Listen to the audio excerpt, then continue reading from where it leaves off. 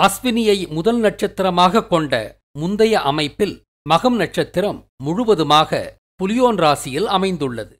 ஆனால் ரோகிணியை முதல் நட்சத்திரமாக கொண்ட சரியான அமைப்பில் மகம் நட்சத்திரத்தின் முதல் மூன்று பாதங்கள் கடக ராசியிலும் நான்காம் பாதம் புலியோன் ராசியிலும் அமைந்துள்ளது. கண்டேன் மாலனை என்ற ஓராண்டுக்கு முன்பு வெளியிட்ட விடியத்தில் பயிர்களின் அறுவடை பருவத்தை குறிக்கும் நட்சத்திரம்தான் மகம் நட்சத்திரம் என்று நிறுவியுள்ளேன். பயிர்கள் பூ பூப்பதை குறிக்கும் பூச நட்சத்திரத்திற்கு அடுத்து வரும் சிவாலய நட்சத்திரம் சிவலிங்கத்தை குறிப்பதாகக் கொண்டால் பூ பூத்த பயிர்கள் மகரந்தச் சேர்க்கை நிகழ்ந்து சூல் கொண்டு மகவை ஈணுவதை குறிக்கும் நட்சத்திரமாக மகம் நட்சத்திரத்தை காணலாம். சூல் கொண்ட பயிர்கள் மகவை ஈணுவதை குறிக்கும்படியாகத்தான் மகசூல் என்ற சொல் வந்தது. பயிர்கள் பூ பூத்த தை மாதத்திற்கு அடுத்து வரும் மாசி மாதத்தில் மகம் நட்சத்திரத்தன்று பயிர்களின் அறுவடையை கொண்டாடும் பண்டிகை கடைபிடிக்கப்படுகிறது. காவிரி நீரைக் கொண்டுதான் காவிரி டெல்டா விவசாயிகள் நெல் மகசூலைக் கண்டதால் கும்பகோணத்துக்காரரான திருமால் ஒவ்வொரு ஆண்டும் மாசி மகத்தன்று காவிரி ஆற்றில் இறங்கி நீராடி காவிரி தாய்க்கு நன்றி செலுத்தி வழிபாடு செய்தார். அதை நினைவுகூரும் திருவிழாவாகத்தான் இன்று திருமாலின் தீர்த்தவாரி கொண்டாடப்படுகிறது என்று கண்டேன் மாலனை என்ற விழியத்தில் தெளிவாக விளக்கியிருந்தேன். மகம் நட்சத்திரத்தின் நான்காம் பாதம் புலியோன் ராசியின் முதல் பகுதியில் அமைந்துள்ளது. இந்த நட்சத்திரத்தின் முழு வடிவமுமே நான்காம் பாதத்திலேயே அமைந்து விடுகிறது. புலியோன் ராசியின் முதல் பகுதி என்பது புலியின் தலையும் முன்கால்களும் தான். இந்த பகுதி கதிர்களை அறுக்கும் அருவா போன்று அமைந்துள்ளதை பாருங்கள். புலியின் வாய் அறுக்கும் வாய்தானே அருவாய் அருவாய் என்று மகம் நட்சத்திரத்தைக் கொண்டும் இந்த சொல் உருவாகி இருக்கலாம். இதற்கு ஆதாரம் இந்த விடியத்திலேயே வைக்கப்படும். ஆக மகசூலை குறிக்கும் மகம் நட்சத்திரத்தின் உருவக வடிவம் அறுவடையை குறிக்கும் அருவாய் போன்று இருப்பதில் வியப்பில்லை அல்லவா? அருவாயை குறிக்கும் ஆங்கிலச் சொல்தான் சிக்கிள் என்பது. இந்த சொல் எப்படி வந்தது? நமது புலியோன் ராசியைத்தான் புலியோன் புலியோன் லியோன் லயன் என்று உச்சரித்ததில்லாமல் அதை சிங்கம் என்றும் மாற்றிவிட்டான் பிராமணன் ஆக புலியோன் என்ற ராசியின் பெயரால்தான் சிங்கத்திற்கு லயன் என்ற ஆங்கில பெயர் வந்தது. சிங்கம் என்பது யூதனின் அடையாளம் என்பதால்தான் புலியை சிங்கமாக மாற்றிவிட்டான் பிராமணன். யூத சகுனியை குறிக்கும் நரசிம்ம அவதாரம் ஞாபகம் வருகிறதா? அதனால்தானோ என்னவோ புலியோன் ராசியை குறிக்கும் மகாபாரத தருமனை யுதிஷ்டரன் என்று யூதனை குறிக்கும் சொல்லால் பிராமணன் அழைத்தானோ?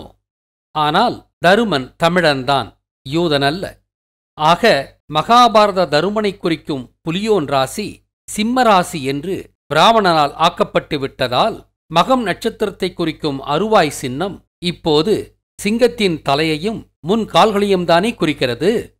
சிங்கம் என்ற அதன் தமிழ்ப் பெயர் சிங்கத்தின் தலைமுடியை குறிக்கும் சிக்கம் என்ற சொல்லால்தான் சூட்டப்பட்டது. சிங்கத்திற்கு அழகான தலைமுடி உள்ளதல்லவா? சிக்கு சிக்கம் சிங்கம் சிகரம் சீக்கியர் போன்ற சொற்கள் தலைமுடியின் பெயரால் உண்டான சொற்கள்தான். அதனால்தான் சிம்ம ராசியாகிய சிங்கத்தின் தலையையும் முன் கால்களையும் குறிக்கும் அருபா சிங்கத்தின் முடியின் பெயரால் சிக்கம் சிக்கிள் என்று ஆங்கிலத்தில் பெயரிடப்பட்டது. ஆக சிக்கல் என்ற ஆங்கிலச் சொல் சிம்மராசியிலிருந்துதான் உண்டானது என்பது புரிகிறது. இதன்படியும் மகம் நட்சத்திரத்தின் உருவக வடிவம் என்பது அறுவடையை குறிக்கும் அருவா எனும் சிக்கல்தான் என்பது ஐயத்திற்கிடமில்லாமல் நிறுவப்படுகிறது. ஆனால் இந்த நட்சத்திரத்தின் சின்னமாக பிராமணனால் சிம்மாசனம் குறிக்கப்படுகிறது. பிராமணனைப் பொறுத்தவரை மகம் நட்சத்திரம் சிம்மராசியில் அமைந்துள்ளதாலும் மகத்தில் பிறந்தவர் ஜகத்தை ஆழ்வார் என்ற நம்பிக்கையின்படியாலும் இதற்கு சிம்மாசனம் சின்னம் கொடுக்கப்பட்டிருக்கலாம். இந்த நட்சத்திரத்திற்கு பல்லக்கும் இன்னும் ஒரு சின்னமாக சொல்லப்படுகிறது. நெல் அறுவடை காலத்தின் போது நெல் விளைவித்த காவிரி தாய்க்கு நன்றி சொல்ல மகசூல் மாதமான மாசி மாதத்தில் மகம் நட்சத்திரத்தன்று திருமால் ஒவ்வொரு ஆண்டும் காவிரியில் இறங்கி நீராடி காவிரிக்கு நன்றி தெரிவித்து வழிபாடு செய்தார். அதை நினைவுகூரும் விதமாக இன்று திருமாலின் உருவச் சிலை மாசி மகத்தன்று பல்லக்கில் தீர்த்தவாரி செல்வதால் பல்லக்கு இந்த நட்சத்திரத்தின் இன்னும் ஒரு சின்னமாக சொல்லப்பட்டிருக்கலாம். ஆனால் இந்த நட்சத்திரத்தின் சரியான ஒரே சின்னம் அருவாதான். இதை ஆமோதிக்கும் வண்ணம் ஒரேயொரு நட்சத்திர பட்டியலில் மட்டுமாவது மகம் நட்சத்திரத்தின் சின்னம் அருவா என்று குறிக்கப்பட்டுள்ளது. இந்த நட்சத்திரத்திற்கான தெய்வம் பித்ரி என்கிறான் பிராமணன். இது விதிர் என்ற தமிழ்ச்சொல்லிலிருந்து விதிர் பிதிர் பித்திர் பித்ரி என்று மருவியுள்ளது. விதிர் என்பது உதிர்வதை குறிக்கும் சொல். அதாவது வைகுண்ட பதவியடைந்த முன்னோர்களை குறிக்கும் சொல்தான் பித்ரி என்பது. மகம் என்பது பிராமணனுக்கு அறுவடையை குறிக்கும் நட்சத்திரம் என்பது தெரிந்துள்ளதால்தான் அறுவடை என்பதை இறப்போடு தொடர்புபடுத்தி இந்த நட்சத்திரத்தின் தெய்வத்தை இறந்து போன முன்னோராக பித்ரி என்ற பெயரால் அழைக்கின்றான். ஆனால் அறுவடை என்பது மனித இறப்பை அல்ல வளத்தை குறிப்பதால் கரிகால் வளவனாகிய திருமால் வளவன் எனும் விஷ்ணுதான் இந்த நட்சத்திரத்திற்கான சரியான தெய்வம். இந்த நட்சத்திரத்தில் பிறந்தவர்கள் இயல்பாகவே வளமாக வாழ்வார்கள். மேற்கூறியபடி மகம் நட்சத்திரத்தின் சின்னம் சிம்மாசனமோ அல்லது பல்லக்கோ அல்ல. அறுவடையை நிகழ்த்தும் அருவாதான் இதன் உண்மையான சின்னம். அடுத்து மகம் நட்சத்திரத்திற்கான கோள் கேது என்கிறான் பிராமணன்.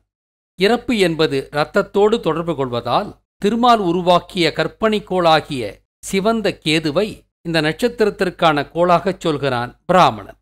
நமது பார்வையில் பயிர்கள் முதிர்வதை பொதுவாக சிவந்த வண்ணமாக பார்த்து அங்காரகன் எனும் திருமாலை குறிக்கும் சிவந்த கோளாகிய செவ்வாய் முருகனையும் குறிப்பதாலும் திருமால் உருவாக்கிய கற்பனை கோளாகிய கேது திருமாலை மட்டும் குறிப்பதாலும் கேதுவை இந்த நட்சத்திரத்தின் கோளாக ஏற்கலாம். இந்த நட்சத்திரம் பற்றி மேலும் அறிய கண்டேன் மாலனை என்ற விழியத்தை காணுங்கள்.